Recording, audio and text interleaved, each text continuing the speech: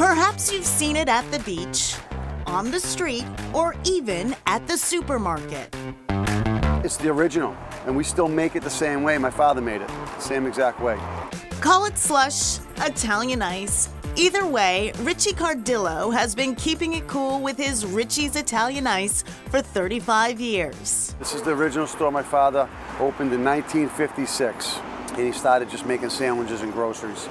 And then an old timer came to him and said, hey, you want to buy my lemon slush? Cardillo said people went crazy for the frozen treat, and he had an idea. I said to myself, every person loves slush, and why can't I just reach them all? How do I get to them? The answer? Wholesale. Today, the same Richie's Italian Ice sold at the original Everett store is found in supermarket freezers throughout New England. Cardillo says they still make the slush in small batches the way his father did. Still make it with the Carpigiani machines that we bring in. They're imported from Italy.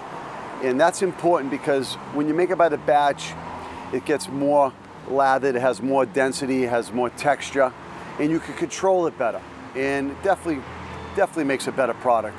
The original store offers a choice of 35 flavors. There's no dairy in it, it's refreshing, it's cool, it's light. And while Cardillo loves his Italian ice, he says there's nothing better than having family by his side. I got my wife and I got my daughters and my son.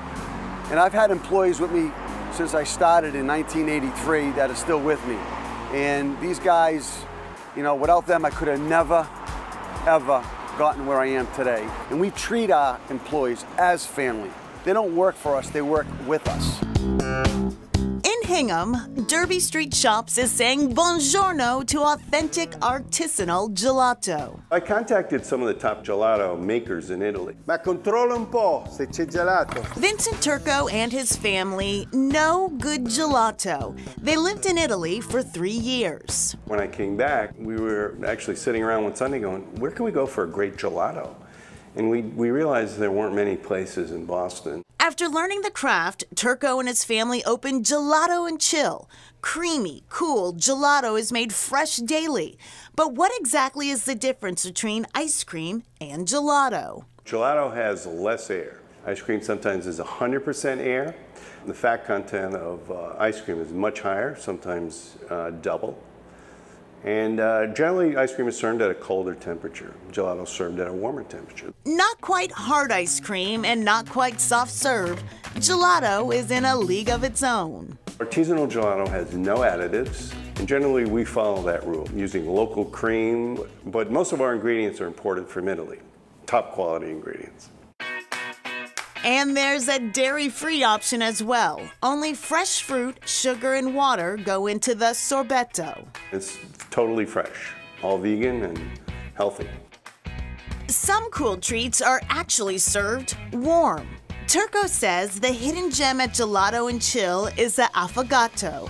Most gelato places have an espresso machine. That's what you need. You need a fresh cup of espresso to drizzle over the uh, gelato that comes right out of the container. That's an affogato, which the word in Italian means drowned. So you've actually drowned the gelato in the coffee.